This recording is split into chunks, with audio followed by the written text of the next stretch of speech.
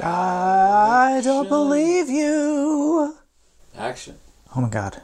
Dude, we're finally getting toward the end of these things. Do you feel like you learned anything from watching all these? Eh. You didn't read the novels. No. So it's just like a regular class that I took in college. Hello, everybody, and welcome to English 332. I am your host, Professor Matt Cohen, and this, my friends, is the birth of the American novel. It's our final lecture. We've had a very long semester 15 weeks. Who the hell thought that was a good idea? I don't think there were 15 weeks. Did you have 15 weeks, Dan, when you were in school? There's no way. Did you, did you, did you even go for 15 weeks or did you just leave? Probably went every once in a while, but I mean, It added up to about 10. yeah. Listen, before I get started on this kind of synoptic look back on what we've been doing this semester, I want to remind you about the evaluations. Please fill those out. But also, I have added a discussion topic to the Canvas site. Um, and uh, I'd like it if you'd let me know there, for the sake of future generations of students who will take this class, which are the works that we read that um, I must absolutely keep on the syllabus by all means, and which, if you could eliminate one of them and save people pain in the future, which one would you take off? Which one would you vote off the island? This is very helpful to me. This course has changed a lot over the years thanks to input from students. I'm saying input as a polite term. Um, and uh, I'll leave the commenting on so that you can respond to each other. If you see somebody has deep sixed something that you think really ought to be kept, give a give a reason for that. That'd be great to see. Um, not everybody is going to agree on this, um, and that will help me as I make decisions in the future. Okay, that was democracy. That's like a it's like a mini democracy. One of the few democratic aspects of higher education. All right, so we have covered a lot of historical and artistic ground in this course, um, starting with the late 18th century, just after the American Revolution, and going all the way to the 1920s, the Harlem Renaissance, modernism, and the kind of coming into its own of American literature as a global literary phenomenon. I want to briefly summarize and re-describe some of the ground that we've gone over to, maybe kind of from a slightly different lens, and starting with the different theories of the novel that we've encountered and ending with the questions that I think these novels still raise for us today. That is to say, that they raised and didn't answer. What makes a novel? I mean, our everyday sense that we started with, that it's a long fictional prose narrative with a relatively unified plot, it, it kind of changed over the course of the century. Novels become really popular um, over that time, and people begin to experiment with the form. They make them shorter, they make them longer, they start to mix different kinds of approaches to it, they mix a lot of different mediums in there.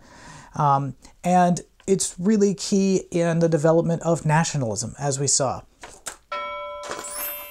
But also, we saw in the maintenance or in the transformation of class boundaries, in the distinctions between um, high literature and lowbrow literature, popular literature, sensational literature. We saw a contest going on over what the novel could do to the shape of society. We could look at the novel from a distance standpoint. We can see how the novel functions in politics across national boundaries. For example, we saw in Charlotte Temple this question was it an American novel? Was it a British novel? Was it more about kind of a conjunction between a male centric legal regime and gendered social practices, and therefore it wasn't really about any specific national context? Um, we found that the novel, in the case of the Blithedale Romance, for example, or in the case of um, Life in the Iron Mills, was a middle class form. It was designed for the most part to reinforce a middle class vision of the world. But then again, there are those working class heroes in The Killers, Life in the Iron Mills, and even in Sutton Griggs's Imperium in Imperio. And those novels, with the very different approaches that they took, their refusal of certain kinds of formalities in language, they're very um, they're very present in the Blithedale Romance, for example. So those other novels suggested that the novel as a form is always taking on new features, new strategies, and potentially new audiences. It can be long or short. It's common to see it using poetry or newspaper language or dialogue or songs uh, in the course of telling a story.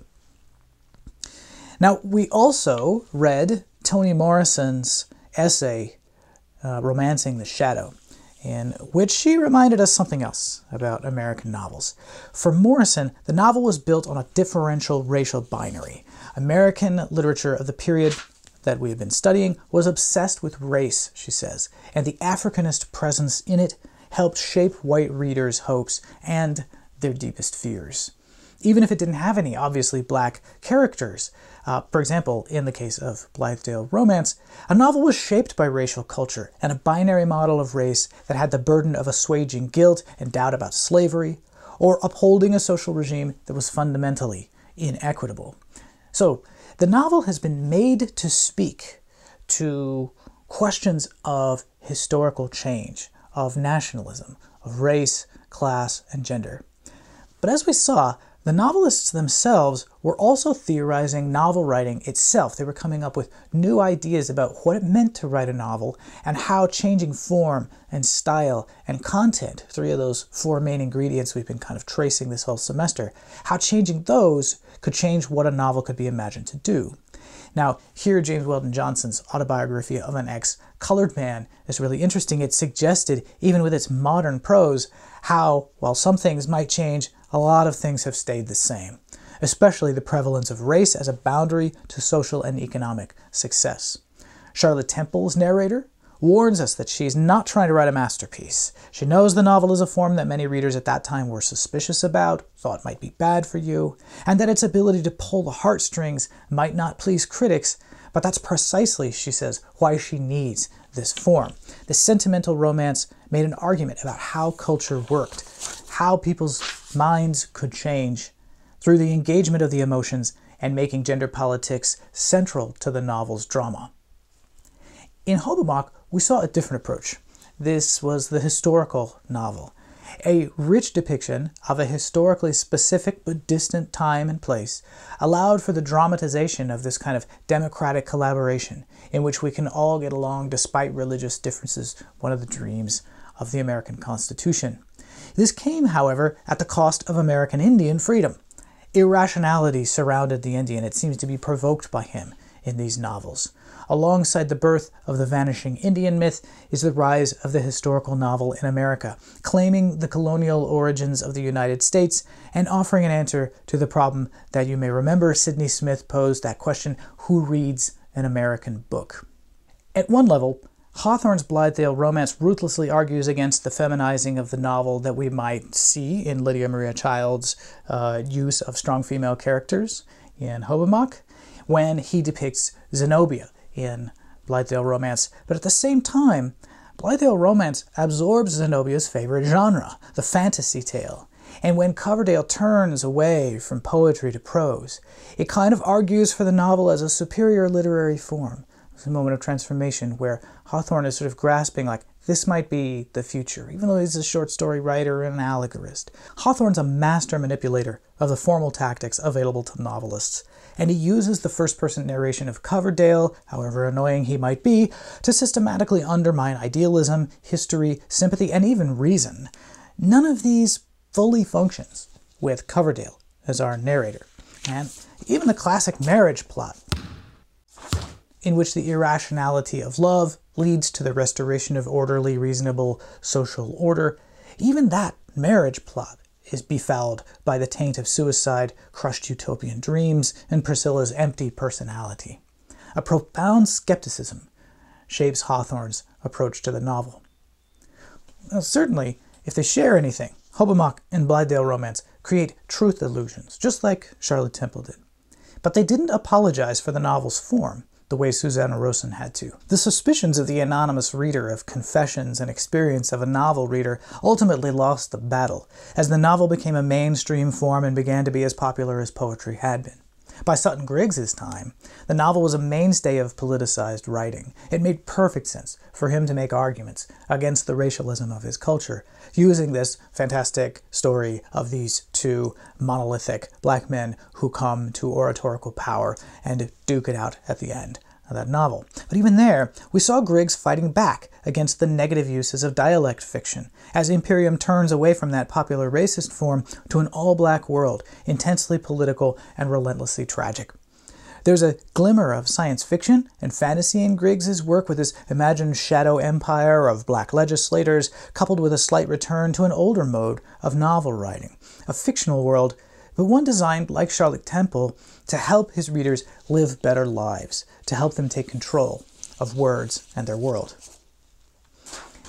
In Mark Twain, we saw another example of dialect fiction being used not to depict superficial versions of African Americans, but something much more complex. But unlike Griggs, Mark Twain, borrowing a trick from Hawthorne, refuses to give us clear moral conclusions. Twain also uses the historical fiction mode very differently from how Lydia Maria Child did. He forces this cognitive dissonance, this, this struggle in your mind, in his readers, by attacking slavery in a time when slavery had already passed. By implication, he suggests the novel has the power to make people not just feel warm and cozy about the nation's past, but in fact, to interrogate how its injustices live on in the present, how that fundamental contradiction of an American freedom and democracy, built on slavery and economic equality, could be continuing to undermine that utopian dream of an America that is the most awesome thing. James Weldon Johnson's modernist approach was to pit one long narrative genre against another in his readers' minds autobiography versus the novel. Once again, fiction leads us to the highest truths, as Johnson's narrator argues it. But by the back door, as we saw, questions about class re enter, even as the racial drama seems to be taking center stage. Nationalism is intensely questioned in Autobiography of an Ex Colored Man, as is the notion of progress. So we're back to where we started. Does the novel inevitably help to create nations? Does the novel's attachment to the present inevitably lead it to thematize progress? Does it, by virtue of its attempts to challenge the norm, um, lead us to some kind of radically different future? Or does it lead us back to those things that are kind of normal, recentering the desires that all of us have to connect with each other? It seems clear that the definition of a novel is more of a conversation than it is a given thing. It's an occasion for thinking about culture, rather than a myth or some kind of template for how things work. But I do think that these novels offer more than just a window onto the history of the United States or the history of the novel or theories about novels. Because these texts are still read today, because they've had long lives, they've resurged at one time or another. They've appealed to subsequent generations, and then sometimes they've disappeared for a while as artistic tastes and the problems on people's minds have changed. And because of this, I think, these novels ask us questions that we haven't yet agreed on the answers to. So, in Charlotte Temple's case, what is the relationship between pleasure and virtue, between feeling good, right, and doing the right thing? Let's get along. say between feeling good and doing good. Oh, that's nice. In Charlotte Temple, for example, what is the relationship between pleasure and virtue? That is to say, what is the relationship between feeling good and doing good? I'd like to thank my brother for that formulation. It was very elegant. In Hobomok, is the unity of Anglo American settler culture inextricably based on the vanishing of the Indian? What is to be the other side, the beyond, the perfect relationship between the people who are indigenous to this land and the people who have come here, whether under their own power or not. In The Killers, where do we draw the line between envisioning the unity of all working people and appreciating cultural difference? Can novels keep us all on the same page, as it were, or do they have to pretend that some things are more important than others? Do they have to take a position that ultimately creates an other or creates someone who is put in a lower position or dismissed? in the Blithedale romance. How are we to understand or to navigate the relationship between an individual personality and a collective communal vision, that, that thing that Coverdale seems so spectacularly to fail in being able to do? And Life in the Iron Mills, which also points right at that question. What is the power of fiction to change the world? Does it do that by changing our hearts first, by appealing to our sense of justice? Or does it simply reflect the cold, hard facts of the world to us and leave those questions in our hands. In Griggs's Imperium in Imperio, how are black people to enter the public sphere as equals given the complex politics of race, both within black culture and between black people and the rest of society? Pudd'nhead Wilson, What are the fictions of law and custom of today that may be enacting the kinds of arbitrary injustices that racial slavery did in the past? Autobiography of an Ex-Colored Man. What indeed is the best position from which to view a culture? He is caught in this space in between and seems to have a unique way of looking both at white people and at black people. But then at the end, to him, it's this depressing having given up on what he was given, um, his racial heritage, and, and a kind of unique set of artistic properties that he feels that he, he never quite grasped. So is that is that that position beyond everybody else from which you can judge? Is that even the right thing to be seeking? the novel seems to ask. And through these questions, American novels up to 1920 connect the struggles of the past to the struggles of today. And here is where you all come in. You are, as I said at the very beginning, the future. And you now have a sense of where some of the language that you speak comes from. Where are some of the tensions that you're experiencing today, every day, whether it's in the media or whether it's on the street, or whether you're just sitting down at lunch? where those tensions came from, and how some Americans in the past have tried to respond to them, have tried to ask folks to change their minds, have tried to give us a new vocabulary, a new set of concepts through which we might think about addressing those problems. So I put this in your hands as folks who have a chance to make a better future out of a dark but an also beautiful past. Thanks for being with me this semester. I look forward to seeing you in the future. Action.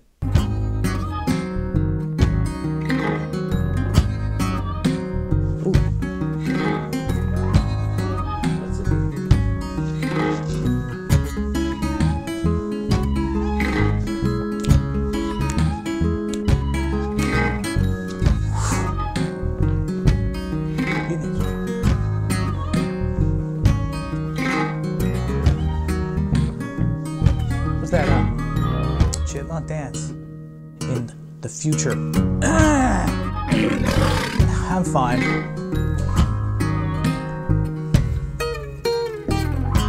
God, only a couple of pages left and I'm dying.